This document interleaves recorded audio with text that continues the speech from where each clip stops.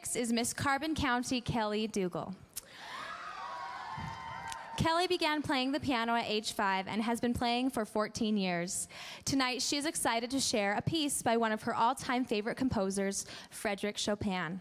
She will be performing his revolutionary etude in C minor. Please welcome Miss Carbon County, Kelli Dougal.